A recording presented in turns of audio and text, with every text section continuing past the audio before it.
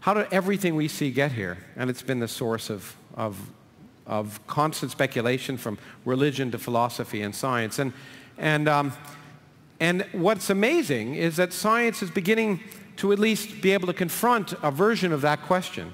And that does upset some people, as, as we'll undoubtedly talk about.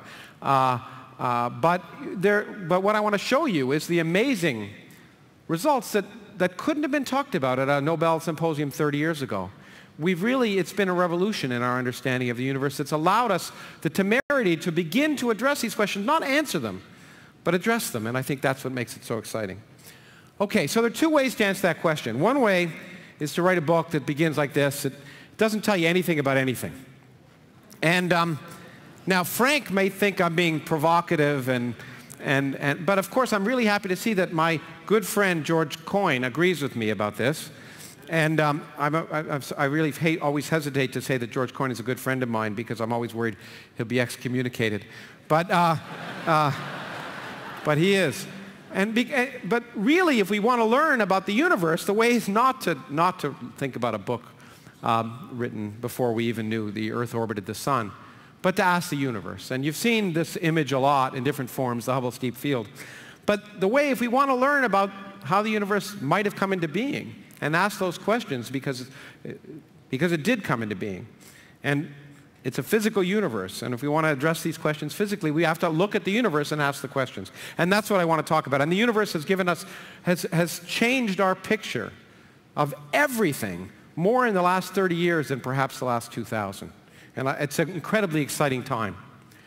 So, I, Alex did a, talked a lot about Hubble and the expanding universe. I won't. I, there are two things I want to add to what he did. One is he didn't mention Hubble's most important characteristic, as far as I can tell, for the young people here especially. Because Hubble gives me hope for humanity. Because he began life as a lawyer and then became an astronomer. And so for all of you who are thinking of a law school, there's hope for you after that. That's the first thing. The second thing is, uh, especially with the questions after George's talk, um, and, and George happily once again showing us at the center, we're at the center of the universe. Um, I thought I might also complement what Alex did a little bit to give you a different way of understanding that we're not. And, and this is useful, I think, because I, I often tell students that in physics, you know, the first time you see something, you don't understand it. And the second time you see it, you say, oh, I've seen that before. And so um, and there's a lot of familiarity that helps with that regard. So, so anyway, this is so uh, Alex was kind enough to give me the slide, he, the version of the slide he showed before. This is what Hubble discovered, which is that everything's moving away from us. And, um, and we codify it in some relationship that the velocity of objects is proportional to their distance. And that makes it look like we're the center of the universe. And he gave one example, but I'd like to give a different one, which I think, for me at least, uh, helps me understand that, that this doesn't tell us we're the center of the universe. It tells us that the universe is uniformly expanding. Now, the real problem is myopia. We are actually stuck in our universe. Well, most of us are. The Republican Party clearly isn't today. But, but uh, uh, you can, but anyway. So the way to see this is to get outside of our universe. And, and I can draw a universe we're outside of. Here's a universe that has galaxies at regular intervals, and just so you don't feel bad over here, I'll point these. Um, and, uh, and you can see if you're standing outside of that universe that, that it's a little bit later, it's expanded. The distance between all the galaxies is bigger. And the question is, what would you see if you lived in that universe? It's quite simple. Just pick a galaxy, any galaxy, say that one. And to see what you'd see, just, we just superimpose this image on top of this one, placing that galaxy on top of itself. What do you see? Exactly what Hubble saw. And the point is, it doesn't matter what galaxy you pick. There's the image that Hubble saw. Let's take another galaxy, put it on top of itself. Everywhere you are, everything is moving away from you. And that's exactly what Hubble saw. So what Hubble told us is there is no center of the universe, or every place is a center. It depends on how you like to think about things. But, but really what's important is that the universe is expanding. And that, the fact that the universe is expanding changed everything.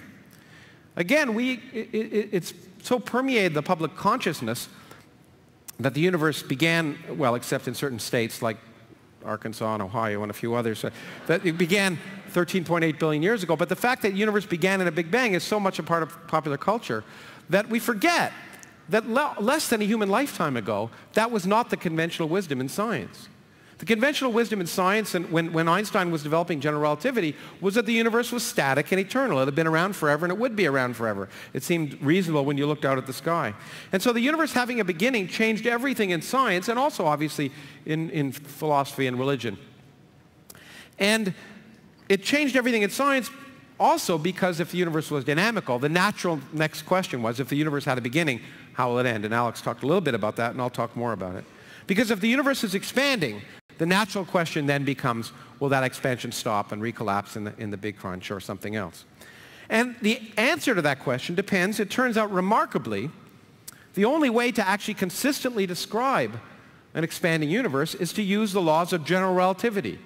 Because general relativity is the first theory to describe not just how things move in the universe, in space and time, but how space and time themselves dynamically respond. And what Einstein told us is that space and time dynamically respond to the presence of matter and energy, like curving and, and, and, and potentially expanding. And so what Einstein told us is that the future of the universe depends upon how space responds to the presence of matter and how much matter there is. And we, you know, we present pictures of that, as and I'll show a picture. It's always hard to do, because it turns out our universe, because matter can, because space responds to matter, space can curve in the presence of matter. And that means it turns out, and Frank gave a beautiful talk on geometry, that our universe can exist in one of three different geometries, so-called open, closed, or flat. Now, we, it's hard to picture these. As Frank was pointing out, it's hard to picture a four-dimensional universe in general. It's hard to picture a curved three-dimensional universe because we live in in, in a three-dimensional universe. So we draw pictures, two-dimensional pictures to guide the eye, but that's all they are. So here, it turns out in two dimensions, it's the same thing. You can have uh, a, a closed universe, which is a surface of a sphere in two dimensions, a flat universe like a piece of paper that's flat, or an open universe like a, like a saddle. But these just guide the eye. In a real closed universe, we're talking about the curvature of three-dimensional space.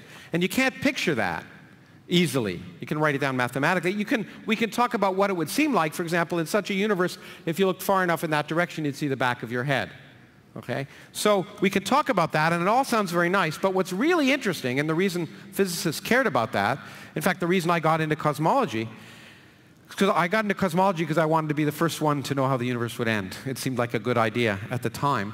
And the answer depends upon, based on general relativity, on the amount of matter. Because if there's enough matter, and we live in a matter-dominated universe alone, then if you, if you have enough matter to make a closed universe, while that looks nice and it's wonderful to talk about at cocktail parties, the important thing is in a matter-dominated universe, the universe will expand to a maximum size and then, and then collapse. In an open universe, it'll go on expanding forever.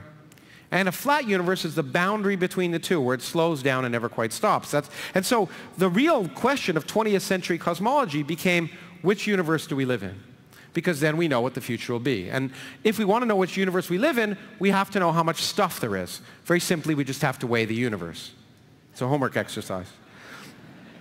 And, and that really, weighing the universe, became the business of 20th century cosmology, and I've written books about it. And, uh, uh, and you can talk about it for a long time, but like many things, uh, a picture is worth a thousand words. But I want to to give you a perspective. We have weighed the universe, and I'll show you the results to give you a perspective on this, I want to take you back a little time in history, I think, especially for the students. Some of you will become scientists, and you'll submit articles to journals like Science, and you'll be rejected. Okay? And I just want to tell you, it, you shouldn't worry. It, I want to take you back to a kindler, gentler time. It's a much more difficult time than it used to be. So I want to take you back to 1936. And there was, a, there was an article that came out in Science magazine called lens-like action of a star by the deviation of light in a gravitational field. And um, here's how it began. Some time ago, R.W. Mandl paid me a visit and asked me to publish the results of a little calculation which I had made at his request. This note complies with his wish. Okay? Try that now and see what happens, okay? So, I mean, now the, the, the author had credentials. His name was Albert Einstein, so it kind of helped. But but what Einstein published there was the results of a calculation that he thought was completely unimportant. So unimportant he wouldn't have published it otherwise. He published results of a calculation. He'd earlier showed that light curved around a massive object. That's what made him famous, as was pointed out. But he realized if you had a massive enough object and you had a source of light behind that massive object, then the light could curve in both directions and come back and converge. And the object could act like a lens. It could magnify objects like my glasses do for nearby objects. Or if I had a cut glass goblet, which you don't have here, I could look through, through that and I'd see many images of you. But he, he, thought it would never be observable. He thought it was totally unimportant. In fact, it's kind of interesting. If you look at his calculation from his notebooks in 1936, you, you also realize that this is the calculation on which that's based, that actually he'd done exactly the same calculation in 1912 in his notebooks from 1912. He just forgot he'd done it. Okay? And my favorite part of this whole story is, is the note he wrote the editor afterwards. He said, let me also thank you for your cooperation with the little publication which Mr. Mandl squeezed out of me. It is of little value, but it makes the poor guy happy. Okay? That's how science is done, okay? And the great thing, of course, is he was totally wrong. It's not of little value. It's the way we weigh the universe. And here is the picture of the very phenomena that Einstein said would never be observable. And, and Alex showed a different one, but this is, a, this is relevant. This is an amazing picture because it's a picture of gravitational lensing. It's a picture that results from the fact that space is curved. So you don't have to be a rocket scientist, to, as, as Sam Ting would say, to, to, um, to see that you know, this is a cluster of galaxies. And as George pointed out, clusters of galaxies are the largest bound objects in the universe, maybe almost 10 million light years across from side to side. They're the biggest bound objects in the universe, and anything that can fall into anything will fall into a cluster. So if you can weigh the clusters, you can weigh the universe. And, uh, and, every, and like many of the images you've seen before, every, every dot in this picture is a galaxy, not a star. Each of these galaxies contains hundreds of billions of stars. This is a cluster that's 5 billion light years away. 5 billion light years away. So the light from those stars left before the Earth even formed. Okay, and by similar token, if, if, if there were beings on that cluster that looked at us, and saw the light that's happening now, we'd long be gone by the same they, time they watched. And in fact, most of the stars in this image may not even exist anymore. They may have ended their lives. And the civilizations that may have existed around them and had meetings like this are no longer. And I mean, that's, I, I think that's really important because we may talk about spirituality, but real, this is real spirituality. This, when you look at this, images like this, they, they inspire you in ways that nothing else I, I know of to, can inspire. But in any case, as inspiring as that is, the really important thing is you don't have to be a rocket scientist to see that these blue things here are different. And what they are are multiple images of a single galaxy located 5 billion light years behind that cluster. A galaxy that's so faint that without the magnification of that cluster, we probably wouldn't have even seen it. But not as only just one image, there are many images because the cluster, as a glass goblet would, splits up the light. It bends in many different directions. So this is proof, if you wish, that space is curved. We but we don't need the proof because we, we know general relativity works. We tested many other ways. So now, as Frank talked about, we, we can now use it to test other things. And so we use general relativity. And it, the point is, if we, now that we know general relativity works, we can use it to weigh this cluster.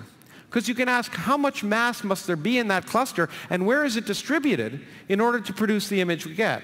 Now that's a complicated thing called a mathematical inversion. It's relatively complicated to do, but you can do it. And, and Tony Tyson and others a long time ago at Bell Labs did it.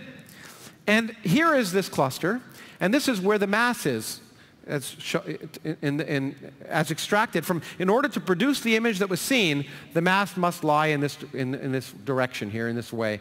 And of course, what you can see is spikes where the galaxies are. But really what's most important is you see a huge mountain of stuff where the galaxies aren't. There's 40 times as much mass in this picture as meets the eye. Most of the mass is where the stuff isn't shining. And in fact, around each galaxy, there are little mountains as well. Most of the mass associated with each galaxy is not visible. And that's the stuff with, that physicists, with their great linguistic perspicacity, have called dark matter. And so we know that there's 40 times as much stuff in here, and it's dark, it doesn't shine, but what makes it particularly exciting, and one of the reasons we are talking about it, is for reasons I, I won't have time to go into, maybe in the question period, I don't know.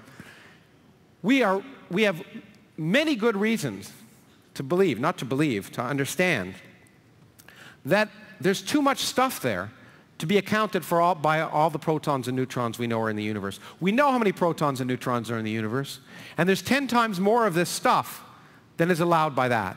So that tells us that it's probably not protons and neutrons. That means it's some new type of elementary particle of the type we talked about, and Tara was talking about discovering at the Large Hadron Collider.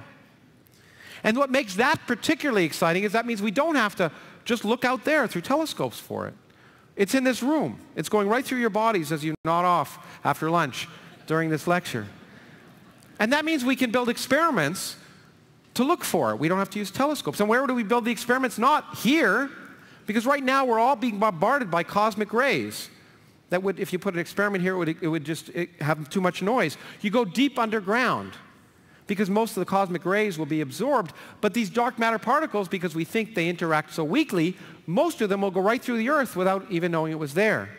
And there are experiments being built around the world uh, to, to, look for that. Actually, this is, takes me back. This is actually based on a, a, proposal that Frank and I made 25 years ago or so, and then we didn't have to build it. So, um, but this is, a, this is a dark matter detector that's actually located in Minnesota, deep underground. And it's kind of simple. You just take a little uh, bit of germanium here and cool it down to about one one-thousandth of a degree above absolute zero, which is what I'm told it is here in, in the winter. And, uh, and um, and then what happens is most of the dark matter particles will go right through the Earth without even knowing it's there. But every now and then, if we're right, one of them may bounce off a nucleus of germanium, and it'll heat the whole thing up roughly by one one-thousandth of a degree. And so you put the whole thing underground and you try and shield it from radioactivity, and you hope maybe once a year, once a decade, once a century, you'll see a blip that can't be explained by anything else, and that might tell us the nature of the dark matter. And what's, as I said after Tara's talk, the interesting thing is there's a race between the Large Hadron Collider and experiments like this to see if the dark matter is made of this stuff, one or both should see it. And that's incredibly exciting. But it turns out it doesn't matter what it is. Again, as, as I think Frank mentioned afterwards, it doesn't matter because we just want to know how much of it there is, because it's its gravity that will determine, we thought, the future of the universe. So let's go back to this and say, how much stuff is there when we weigh the universe like this. And we've come up with the answer. After 80 years, we've come up with the answer, and I'm going to show it to you. A drum roll. Okay, whatever. And there it is. Okay, I, there are people back of the room that are fainting right now. Um, now when physicists have an important number, we always give it a Greek letter to sound scholarly. And omega, which, which George alluded to, is a very important quantity. Omega we call the, the uh, it's a quantity that defines for us the ratio between the actual amount of matter in the universe and the amount of matter to make an exactly flat universe. So if omega is less than 1, the universe is open. And if omega is greater than 1, the universe is closed. And you can see here, even from a long time ago, that uh, at, at, high accuracy, and the numbers have gotten better, the, there's only 30% of the amount of stuff to make a flat universe. So it looked like we got the holy grail We'd finally figured out the universe is open, end of story, no need to have talks and such, etc. But there's a problem. The problem is we theorists knew the answer because we always know the answer. We're not often right, but we always know the answer. Okay? And we knew that the universe was flat because a flat universe is the only mathematically beautiful universe. And here these darn observers were doing what observers do so well, which is get it wrong. We thought. But there's clearly a loophole here, which is this determines how much stuff is around galaxies and clusters of galaxies. But what about all the stuff where there aren't, all the regions where there aren't galaxies? Clearly, there's huge ways of missing stuff. And this is a very weird way of determining the geometry of the universe, because this really tells us the geometry of the universe, we thought. Because you have to plug the matter into Einstein's equations and then solve Einstein's equations, measure other quantities like the expansion rate of the universe, plug it all in, and from that try and infer the geometry of the universe. Wouldn't it be better to measure the geometry of the universe directly? And what's amazing is that we can, and we have been able to, and I'm, I'm, I'm thankful to George in some sense that he's, he didn't talk too much about it, so I can. We have been able in the last decade or so to measure the geometry of the universe, which is just remarkable in the extreme. Now, how would you measure the geometry of the universe? Especially if you, let's ask how you could measure the Earth is curved if you couldn't go around it or you couldn't go into a satellite, okay? If you just lived in Kansas, how would you know the Earth is curved? Well, very simple. You draw a triangle, And you ask a Gustavus Adolphus student, what are the sum of the angles in a triangle? You ask anyone else and they won't know. But uh, it's 180 degrees, but I'm assuming that they have a good education here, I can tell. And that's fine because we all learn our geometry from Euclid, as Frank pointed out. But in fact, on a curved surface, it's quite different. And in fact, he showed a slide about that. But on a curved surface like the surface of the Earth, I can draw a triangle as follows. I can go along the equator, then I can make a right angle and go up to the North Pole, and then another right angle and go back to the equator. And I got, I got a triangle with three right angles. 3 times 90 is 270, and 270 is 180. So if I made a, draw a triangle that was big enough on the surface of the Earth, I could prove the Earth is curved. And what is truly amazing is that, that same thinking works not just in two dimensions, but in three dimensions. If you could find a big enough triangle in our universe, you could measure the curvature of the universe. And that's what, that's what we've been able to do. People were trying for a long time. And we've been able to do it with the cosmic microwave background radiation that George so beautifully talked about. I remind you from George's talk that when we look out at the cosmic microwave background radiation, we're looking back at a time when the universe was a few hundred thousand years old. Back to the moment when it became transparent. Now, seeing the, the images of that baby universe, and I'll show a different version of it, is amazing. It's worth a Nobel Prize or two, in fact, at least two. But what's equally interesting is, is there's a very important scale on that surface, and that's one degree. Because one degree represents, in general, in certain cases, and in a case that I'll talk about, 100,000 light years across on that surface, approximately. And if the universe is about 100,000 years old, Einstein told us that no information can travel faster than the speed of light. And if that's true, nothing on this surface over here could, ever, could affect anything at that surface over there because that's how far light can travel in the history of the universe. Okay? And certainly at that time that, that surface was created. Now that sets an important scale because if I have a lump of matter that's smaller than that scale, what does that lump of matter do? As George pointed out, it collapses. And then it heats up and it does all the things that lumps of matter do. But if I had a lump of matter that's bigger than that scale, it doesn't even know it's a lump. It's like, I used to watch a lot of TVs. It's like Wile, Wile E. Coyote on the Roadrunner. If you remember, he used to run off a cliff and then he'd hang around a while before he realized he was supposed to fall. And uh, that's exactly what would be the case. Lumps bigger than this don't know they're supposed to collapse. So the biggest lumps that can have collapsed or begun to collapse the moment the microwave background universe becomes neutral, when things can begin to collapse, as George pointed out, the largest lumps that can collapse are that big. But that creates a ruler for us. It creates a ruler that's 100,000 light years across. Well, let me just go back for a second. So that's a ruler, and it creates a triangle. We can ask, how, how big are the largest lumps? And to go back to this image, as, and it, this is, again, I think something that Frank's slide showed, in a, in a flat universe, and by the way, a flat three-dimensional universe is not a pancake. It's just the universe you always thought you lived in, where the x, y, and z axes point in the same directions everywhere in space. Okay? In a flat universe, light travels in straight lines, and a 100,000 light year across ruler or lump should span on our eye one degree. But in an open universe, where light rays diverge as you go back in time, the angle spanned by 100,000 light year across ruler will be smaller the ruler, the lump, will look maybe half a degree across. And in a closed universe where light rays converge as you go back in time, the ruler will look bigger. So all we have to do is take a picture of the types George took and ask, how big are those biggest lumps?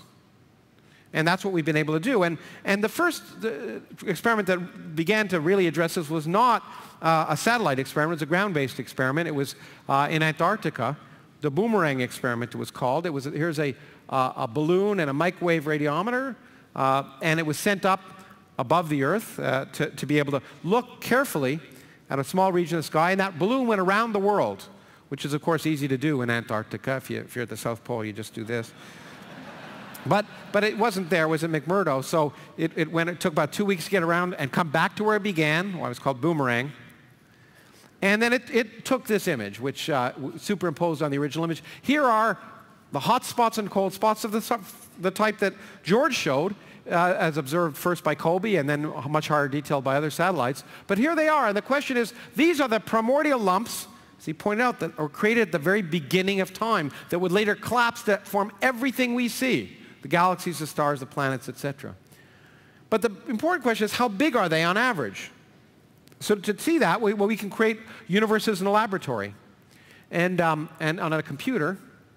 Well, oh, I, guess I, I wanted to show the Planck picture just to show we do much better now, but I figured George would show it. And here's Boomerang. Here's that same region of the sky looked at in, in, a different false color image. And here are universes on the computer. We create a closed universe, an open universe, a flat universe, and we ask how big on average would those lumps look? And in a closed universe, the average 100,000 light year across lump would look that big, but that's bigger than these lumps. In an open universe, the average 100,000 light year across lump would look that big, but that's smaller than these lumps. But just like Goldilocks, in a flat universe, it's just right. And in fact, we now know to an accuracy of perhaps better than 1% that the observable universe is flat. So if you're a theorist, you can do this. Okay. Well, you shouldn't pat yourself on the back too much because, of course, there's a problem here, which I hope you're aware of. Isn't a few minutes ago, I proved the universe was open. We've only measured 30% of the amount of stuff to make a flat universe. And so there's a big problem. Well, if the stuff isn't where the, where the galaxies are, it must be where galaxies aren't. But what is where galaxies aren't? Nothing. Now, the amazing thing is that we have learned, one of the great developments of 20th century physics, is that nothing is not so simple. When you put together the laws of quantum mechanics and relativity, then empty space becomes a dynamical thing much more dynamical. In, when you put together quantum mechanics and special relativity, it, it, turns out that there must be, that the empty space is really a boiling, bubbling brew of virtual particles that are popping in and out of existence in a time scale so short you can't see them. Particles we call virtual particles. Now that doesn't sound very impressive. It sounds like counting angels on the head of a pin. Okay? But so, you know, the purpose of science isn't to invent things you can't see. That's the purpose of other things I won't go into at the moment. But um, so if, they, if you can't see them, then how do we know they're there? We can't see them directly, but we can see their effects indirectly. In fact, they're required an essential part of understanding of modern physics. This image, which all of you have been staring at while I've been talking, I see, was actually something that Frank showed at the Nobel Prize ceremony. It's actually, while it's an, while it's an animation, it's, it's more than just that. It's based on real calculations. This is what the empty space inside of a proton looks like. Now, if you went to a good high school, and I'm sure the students here did, you learned that protons are made of three quarks, right? Okay. Well, we lied. Okay? They're not. They are made of three quarks, but it turns out if you add up the mass of those quarks, they account for almost very small percentage of the total mass of the proton. Most of the mass of the proton comes from the fact of these virtual particles popping in and out of existence, these fields giving energy and mass to the proton. So maybe 90% of the mass of the proton or more is due to these virtual particles and fields. So you wouldn't be here if those part virtual particles didn't exist. That's how important they are. So, if, and in fact, Frank won the Nobel Prize for the theory that allowed this calculation to be performed. So if we, can, if we have a theoretical basis for calculating the contribution of, of virtual particles to the inside of the proton, why not apply the same ideas to empty space and ask how much energy would these kind of virtual particles give to empty space? And that's where you come up with the result that Alex mentioned. I notice kindly the one is missing from here, but um, if we do the same kind of calculation, we, get, we estimate that the energy of empty space is roughly a gazillion times the energy of everything we see. It's, it indeed is the worst prediction in all of physics, although maybe some of my colleagues here have made worse. I don't know. But, but uh, what we know is that the energy of empty space cannot be much more than the energy of matter, or we wouldn't be here. And so this, this problem has been around since before I was a graduate student, but certainly when I was a graduate student and since then, which became called the cosmological constant problem. Why should the energy of empty space not be a, a, a 120 orders of magnitude larger than everything we see. And as I alluded to in the panel earlier, we were able to go to sleep at night because we knew the answer, because we're theorists. And we knew the answer had to be exactly zero, because zero is a beautiful number. More, more than that, there's a real other more relevant physics reason. If the energy of empty space was not going to be bigger than the energy of everything we see, we'd have to cancel this big number to 120 decimal places, leaving a non-zero number in the 121st decimal place. No one knows how to do that. But zero is a number we know how to get in physics. We have mathematical symmetries of the type Frank talked about and others that, that they're mathematical symmetries that might cancel things exactly. So we all knew, we all went to bed at night knowing that there was some symmetry of nature that would cancel things exactly and the answer was zero and, and so we didn't have to worry about it. But physics is an empirical science. And as I will argue in a bit, the universe doesn't give a damn what makes us happy. And so what we really want to know is, is that really the case? And the only way to do it is to observe it. Now, it turns out if you put energy in empty space, as has been alluded to in general relativity, it is remarkably gravitationally repulsive. All the people who've took, taken physics here know that gravity sucks. Okay? But in fact, for empty space, gravity blows. Okay? And that is remarkable. And that means if you look at the expansion of the universe, over time, instead of slow, if the universe is dominated by the energy of empty space, the expansion of the universe will speed up, not slow down.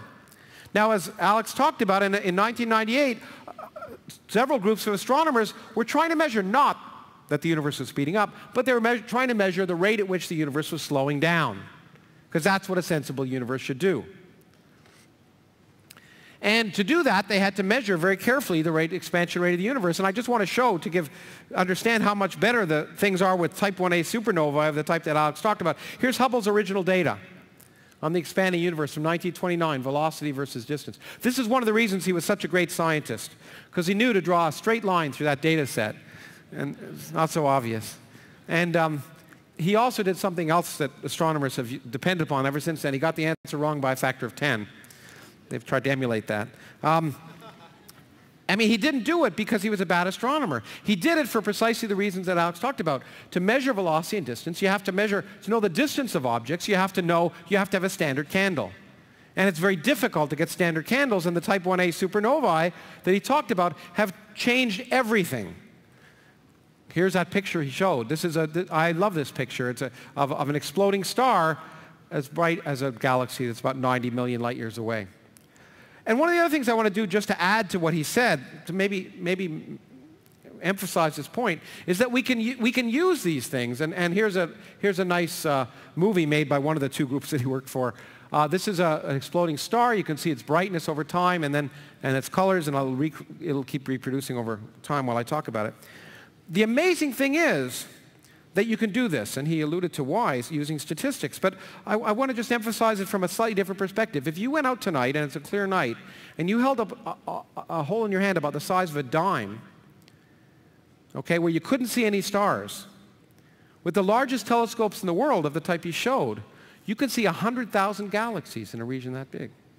And and if you do the calculation, once per 100 years per galaxy, if you can see 100,000 galaxies in a single image like that, you're bound to see a star explode, and people like him apply for telescope time to do just that, and they do it. And it's amazing. It's an important lesson. The universe is big and old, and rare things happen all the time.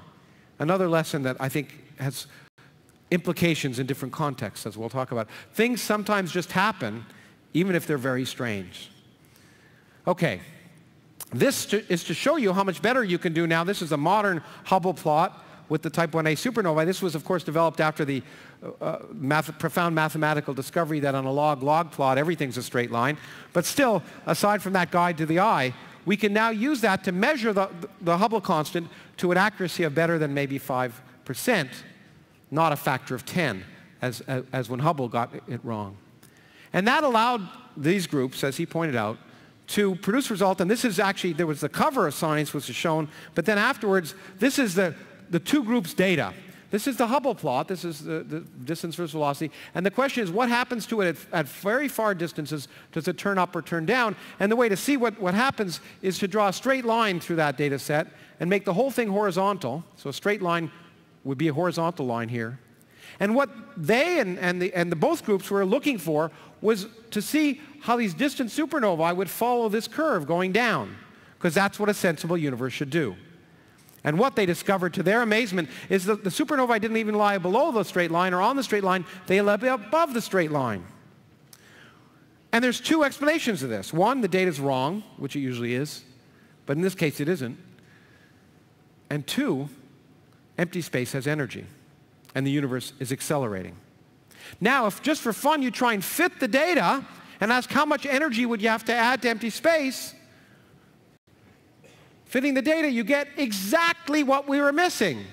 If you put 70% of the energy of a flat universe in empty space, everything works.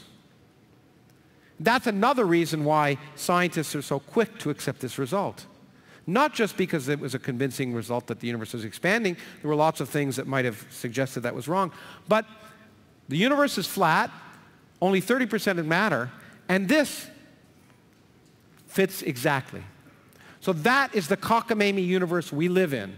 That is, those, that is a profound result. We live in a universe, a flat universe, in which 70% of the universe is dark energy, this stuff that, we, that, that the energy of empty space.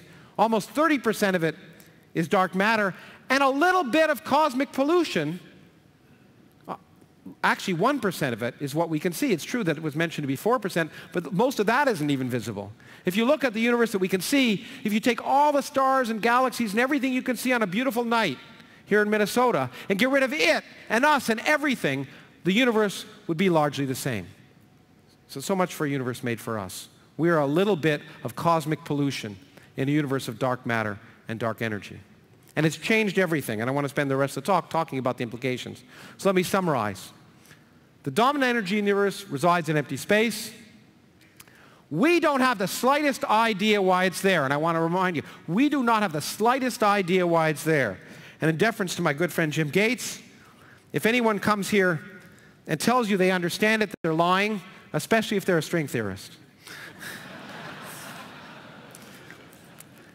And its existence is tied, we think, to the very nature of space and time and to the origin of our universe, which is why it's so interesting to us. And as Alex alluded to, but I'll describe in a little more detail, it will determine the future of the universe. In fact, the reason I got into cosmology was the wrong reason. Because it turns out geometry is irrelevant. It doesn't matter whether we live in an open, closed, or flat universe. The future of the universe is determined not by geometry, but by the energy of empty space. Okay. Now, I want to, I was going to ask for your apple. I meant to ask you, Alex, for it. But pretend I have Alex's apple here. No, it's okay. I'll just, uh, this is good enough for me. It's more likely I'll catch it.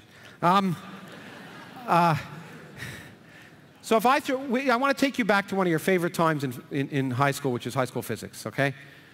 We teach high school students how to calculate what will happen when I throw a ball up in the air. If I throw it up, as you pointed out, it'll come back down. If I throw it up faster, come back down a little bit later. And if there's no ceiling, if I throw it really fast, it won't come down at all. And here's how we do the calculation. We turn it into bookkeeping. We say that, that the energy of an apple has two pieces. Uh, we call it the kinetic energy and the potential energy. It doesn't matter. There's a positive piece, which is the energy of motion.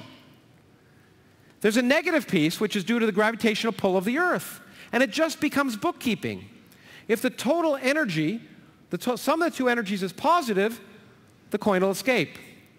If it's negative, it'll come back to Earth. And that's what NASA uses every time they try and figure out whether, how fast to throw a satellite up into space.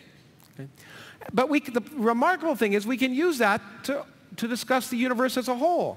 Because if it's expanding and it's the same everywhere, then what happens to every galaxy in the universe will happen to any galaxy. And therefore, if we take a region where we're at the center and ask what's going to happen to the universe, we just have to look at one galaxy that's moving away from us. And if it stops and comes back, then they all will.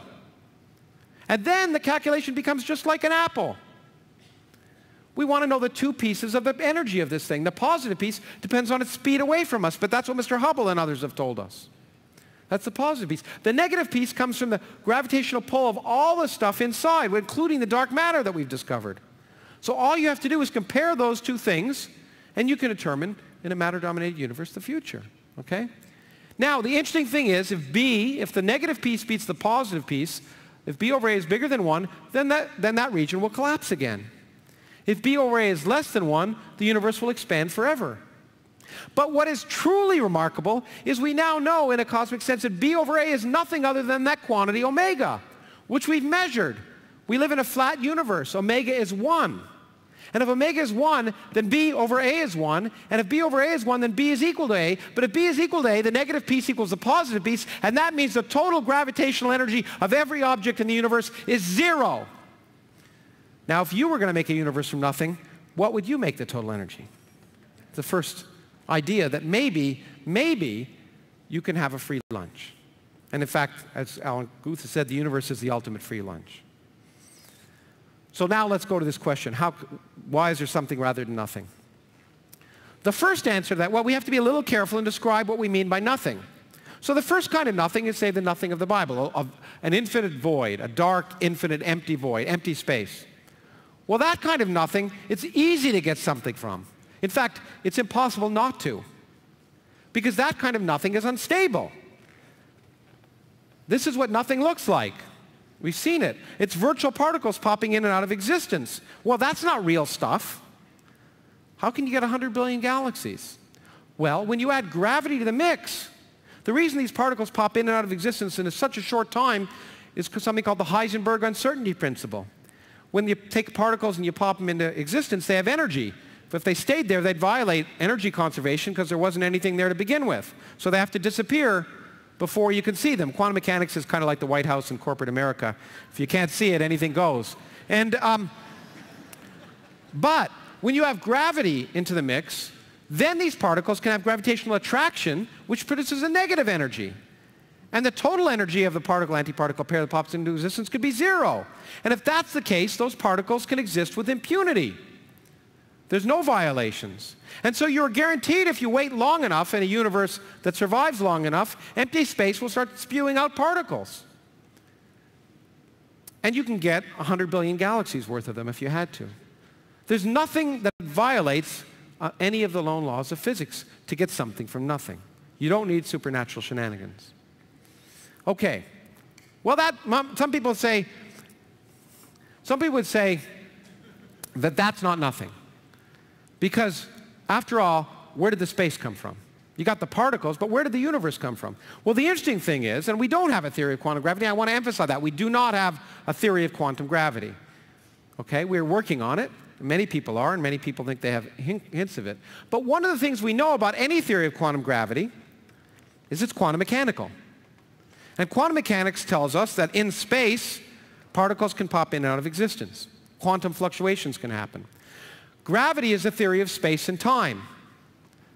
If we quantize that, then space and time become quantum variables, and space and time could pop in and out of nothing. And I think Frank showed a picture which some people would, in different versions, could say is just that. When you, add, when you in, in, any theory of quantum gravity, uh, when you put quantity and quantum, gravity and quantum mechanics together, it allows spaces and times to pop into existence. It means that there's no space, no time, and poof, a universe pops into existence. Now, most universes that pop into existence will pop out of existence, just like virtual particles, okay, in a microscopic time. What kind of universe could exist with impunity? A universe with zero total energy. Now, it all begins to sound like it's all coming together, but it's not so simple, and I don't want to pretend it is. Because it turns out the only universe that we can actually mathematically prove has zero total energy is not a flat universe. It's a closed universe. So what gives? Well, most closed universes, as you saw, will expand and collapse, and they'll expand and collapse if they created microscopically in a microscopically short time. The only closed universe that could not that would survive long enough for us to ask the question is one in which there was a very early period of accelerated expansion that would puff it up so large that it wouldn't collapse right away. But that's precisely what particle theory now predicts. This theory we've heard mentioned several times called inflation. Predicts naturally based on the extrapolating the kind of physics we talked about that very early on in the universe, there was a period of accelerated expansion when it, when it increased inside by a volume of at least 10 to the 90th in a time frame of a millionth of a billionth of a billionth of a billionth of a second. It sounds like science fiction, but it's not. Now, what will that do? Well, what would inflation do? If it happened in the early universe, it would take a closed universe and puff it up. But if it puffs up, what would happen? Well, it's like puffing up a balloon. and making it the size of the earth. When you puff up a universe that's curved, you make it look flatter. And therefore, the only closed universe that could survive long enough to live, to be enough for us to evolve, still can use that word here, is one that had an inflationary period and therefore one that must look flat. So in fact, the only universe that can be created from nothing by this kind of mechanism and survive long enough for us to be around is a universe that looks flat, precisely like the universe we live in. And that's the point I want to mention. We can't show, because we don't have a theory yet, that the universe came from nothing by this. But it's plausible. And that plausibility is amazingly worth celebrating. But more than that, we can ask the question, what would a universe look like if it was created from nothing by just laws of physics without any supernatural shenanigans. And it would look exactly like the universe we live in. And that is remarkable. But that's not enough. Because some people would say that's not nothing. Because you, you don't have particles, you don't have radiation, you don't have space, you don't have time. But what about the laws? What about the laws themselves? Well, it turns out that even the laws of physics themselves may be accidental. And uh, to do that, I want to answer the, uh, the question Sam asked actually in the panel a little more rigorously. And, and, and Alex alluded to. It's this amazing coincidence. This is a brief history of time. That's the last, uh, as, as George would say, it's the last complicated picture I'm going to show you, so it's downhill. Um, this is the density of matter in the universe as the universe expands. The density goes down. This is the density of empty space, the energy density of empty space. It remains constant. And we live in a time, 13.8 billion years after the Big Bang, when the energy of empty space is roughly three times the energy of matter. That's the present time. But when you look at this, or when physicists look at this, they go crazy if you stare at it long enough. Because Copernicus told us it's not supposed to be this way. Why should we live? This, we live in the only time period in the history of the universe when these two numbers are about the same when the energy of empty space is almost the same as the energy of matter. Why should that be the case? It's not supposed to be the case. There's nothing special about 13.8 billion years. There's, there's nothing special in the fundamental constants. We should just live in an average time. Why are we living in such a special time? Well, physicists have thought a lot about this, and one of the answers is here. Galaxies exist, as was pointed out, I want to explain that. Let's say the energy of empty space were 50 times greater. So that line, instead of being here, was up here. Well, then these two curves would cross at a different point. They'd cross, in this case, at the point when galaxies first formed. But if the energy of empty space was greater than the energy density of matter before galaxies formed, galaxies wouldn't form because the repulsive force would beat out the attractive force. So if the energy of empty space were much bigger than it is today, galaxies wouldn't form. And that's led physicists, some physicists to something I like to call, well, anthropic mania. The argument is perhaps there are many different universes and the energy of empty space is just a random variable. It changes in each universe. Then only in the universe in which we, uh, only in a universe in which it's not much greater than we measure today will galaxies form. And only then will stars and planets form, and only then will astronomers form. So the universe is the way it is because there are astronomers here to measure it. It sounds funny. It sounds almost religious. It sounds like purpose. But it's not. That's a mistake. It's the same mistake you make if you assume the fact that bees can see the colors of flowers is because they're designed to do so. That's due to evolution and natural selection. This is a kind of cosmic natural selection. We would be amazed to find ourselves living in a universe in which we couldn't live. That would be worth writing a book about. So it may just be a remarkable accident associated with our existence that the reason we find this value is that if it were different, then we wouldn't be around in our universe. It's awful, of course, because it turns physics into environmental science, God forbid, but nevertheless, it may be true. But particle physicists have jumped on this because particle physics is way ahead of cosmology. There are many more problems we haven't understood for much longer than cosmology. We don't understand why gravity is the weakest force in nature. We don't understand why the proton is 2,000 times heavier than the electron. We don't understand why the three generation of elementary particles. Those are the kind of things that Tara and her colleagues are trying to address with experiments and, and theorists are also trying to address. So some physicists have jumped on this and said, this is great. We don't have to understand anything. Maybe it's all an accident. maybe it's just, if it, if it were different, we wouldn't be here. And then we don't need a theory of everything. We just need a theory of anything. But we have such a theory. It's called string theory. So, so I want to give, before George, you know, Jim may give a longer version, but I'm going to give a short version of string theory. So this one guy says to another, I just had an awesome idea. Suppose all matter and energy is made of tiny vibrating strings. The second guy goes, okay, what would that imply? The first guy says, I don't know. So that's a history of string theory over the last 40 years or so. and, uh, and it's had its good times and bad times. But one of the things that nevertheless, and it's a well-motivated theory, I, I don't want to make any more fun of it, but one of the problems and opportunities, I suppose, of string theory is that it, in general, requires many more dimensions than the ones we actually see and measure, 10 or 11 in most of them. And the question is always, where are those dimensions? We don't see them, and one way to get rid of them is to curl them up into very small volumes. But what's amazing is every different way you curl up those extra dimensions in string theory, you end up with a residual universe with different laws of physics. And so some people realize there may be 10 to the 500 different possibilities. Even if there's only one string theory, there may be 10 to the 500 different four-dimensional universes that could result, each of which would have different laws of physics, depending upon how you compactify these extra dimensions. But then, you see, then you're guaranteed to find a universe like ours. Because in each universe, there could be different laws of physics and the different energy of empty space. One of them is bound to look like ours. Now, is that science? I mean, if you, could, if you have something that's consistent with any possibility that could ever arise, it's an interesting philosophical question, whether you have a scientific theory, and that's something to be discussed. But whether it's not, is or not, it may be true. Whether I like it or not, and I don't.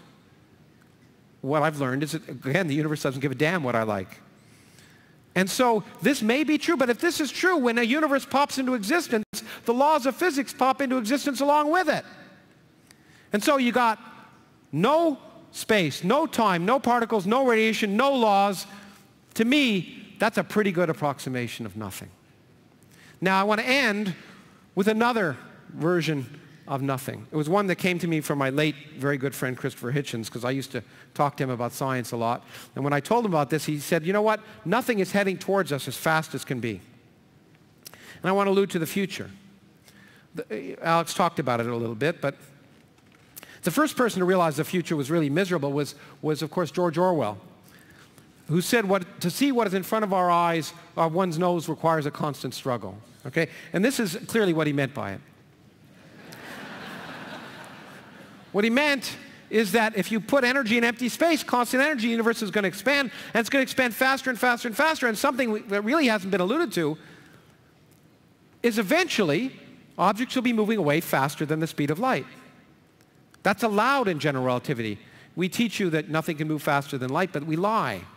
Well, you have to be like a lawyer and parse it a little more carefully. Nothing can travel through space faster than light, but space can do whatever the hell it wants. And if empty space has energy, there are regions now, which are, well, in fact, there are regions now moving away from us faster than light, and we can calculate that. In fact, we can calculate the distance away from us beyond which objects are now moving away faster than light. It's 18 billion light years. And the universe is 14 billion years old or so. So these effects are just becoming, beginning to be visible. And they're going to get worse. Because when objects are moving faster than light, we can't see them. The light can't make it back to us. They literally disappear in ways that I, I don't have time to discuss. But I've tried to use this, indeed, Alex, before Congress to say that we should measure things now while we have a chance. but this, the, the time frame of, of this happening is like of what I'm going to talk about happening is two trillion years, and that's a lot longer than the long-term future for a congressperson, which is two years. So it doesn't work. Yeah, yeah, it never gets to us. Okay. But this means, and it's been alluded to, but in a much more dramatic way than I think it's been alluded to, the rest of the universe really disappears. And this means in the far future, as was pointed out, I find it quite poetic. I said that a single human lifetime ago, we thought the universe was static and eternal. What I didn't say was that Hubble also was one of the people who discovered there was more than one galaxy.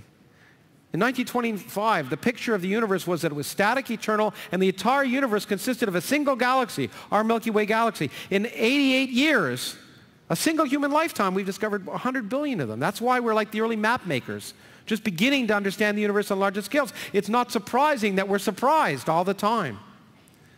But in the far future, it's very poetic. astron- there'll still be stars around in two trillion years. There'll still be main sequence stars. And astronomers on those main sequence stars will evolve because there'll be carbon and they'll, be, and they'll evolve and they'll discover the laws of physics, of quantum mechanics, of relativity. They'll build telescopes and they'll look out and what will they see? Nothing outside their galaxy. The universe that they believe they'll live in will be the universe we thought we lived in 100 years ago with a single galaxy and all evidence of the Big Bang will have disappeared. But after that happens, these stars will burn out and the universe will become cold and dark and empty, as Alex said. So in that case, as, as Christopher put it, the simple answer to the question, why is there something rather than nothing, is just wait, there won't be for long. and I think that's the most important answer because it demonstrates our incredible cosmic arrogance. Many people think we're the pinnacle of evolution, but it's not as if evolution had some purpose to get to us and it stopped. Okay? And many people think the universe that we live in is the universe is the way it was, always was and always will be. It's not. It's going to be quite different. And we won't be around, and there'll be nothing around in the far future. So, to conclude, science has demonstrated that a universe from nothing is not only plausible, I would argue, but likely. And what I, what's really important is that what we mean by something and nothing has completely changed from the time the classical philosophers and theologians first raised the issue thousands of years ago. That upsets some people when I say that. That science has changed the meaning of things, it came out of it. But it's actually called learning. Okay? We should celebrate it. And to, really, the important thing is that I want to point out is why is there something rather than nothing is not the important question. In fact, it's not even a reasonable question. Because why is there something rather than nothing assumes purpose. Whenever you ask a why question, it assumes purpose. In fact, why questions are fundamentally meaningless. Whenever we ask why, we really mean how. And anyone here who's a parent knows this. When your kids ask why, why, why, why, the only answer inevitably is because go to bed. Okay? What really is the important question is how. How did the universe evolve and how can we find out? And that's what we're celebrating here today. And the amazing discoveries we've heard talked about are continuing and the surprises that are going to happen will, what we now know will pale in comparison to what the young people here will discover as some of them I hope become scientists. So, to really conclude, I've told you two things. First, you are much more insignificant than you ever imagined. And second, the future is miserable. Okay? But you should be happy. Because, you know, we may live in a universe without purpose, but what, that, what does that do? That means the purpose in our lives is the purpose we create. And we should consider ourselves fortunate to have evolved in this place in the middle of nowhere and evolved a consciousness where we can understand the universe from the earliest moments of the Big Bang to the far future, sitting here in this remote place in the middle of nowhere and so instead of being depressed, you should enjoy your brief moment in the sun. Thank you very much.